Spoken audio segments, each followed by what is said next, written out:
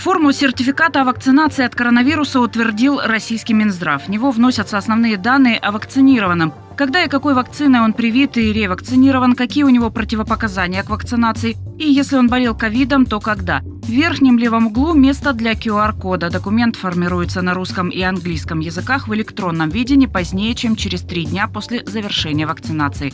Приказ Минздрава вступает в силу 8 ноября, а сертификаты, полученные раньше, автоматически переоформят на портале госуслуг до 1 марта.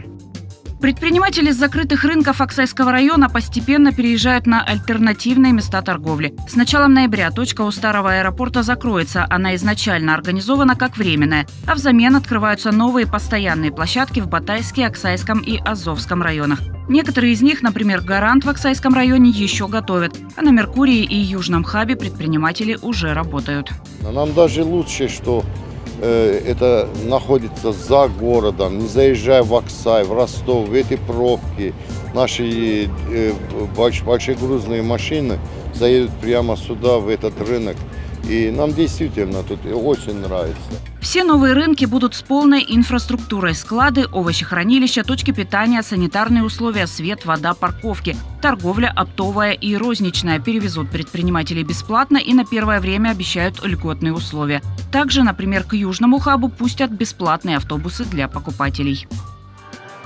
Всероссийский фестиваль духового искусства «Воздух» завершен. Он был посвящен столетию трубача и дирижера Тимофея Дакшицера. За неделю ростовчане услышали солистов Андрея Борзенко и Игоря Бабина, московский ансамбль New Life Brass с программой «Живи с музыкой» и напоследок столичного дирижера и трубача Владислава Лаврика.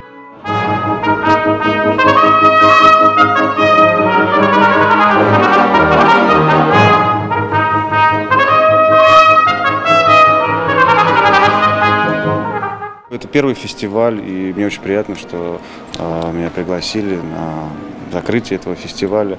Это, безусловно, э, яркое событие. Э, э, сейчас духовая музыка действительно на подъеме, и э, я являюсь тоже художественным руководителем э, духового фестиваля «Brass Days».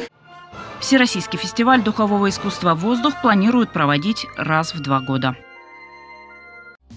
Эксперты ЕГФ определились самыми красивыми голами пятого тура Лиги чемпионов. На пятом месте рейтинга подкрутка с правого края от игрока ЦСКА Сары Рестовски. Да, это эффектно, но смотрите, чем хуже вкрученный в ворота Боруссии мяч Юлии Моногаровой. Как говорится, найдите 10 отличий. Ну ладно, Моногарову поставили выше с другим голом, и только это оправдывает ЕГФ. Но никак не оправдан гол номер 4. Он заброшен в наши ворота безнадежно проигрывающими немками с явной пробежкой.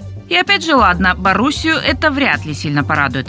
На третьем месте гол нашего следующего соперника Эсберга. Пушка, конечно, впечатляет, но не до безумия, видали и мощнее. Второй по красоте признана бабочка улетающего игрока Меца. Ну, что красиво, то красиво. Но особенно красив, конечно же, наш воздушный гол. Навес Борщенко на уже летящую Моногарову, и та безупречно переправляет мяч в сетку. Ростов-Дон – первое место в топ-5 голов и в группе Лиги чемпионов.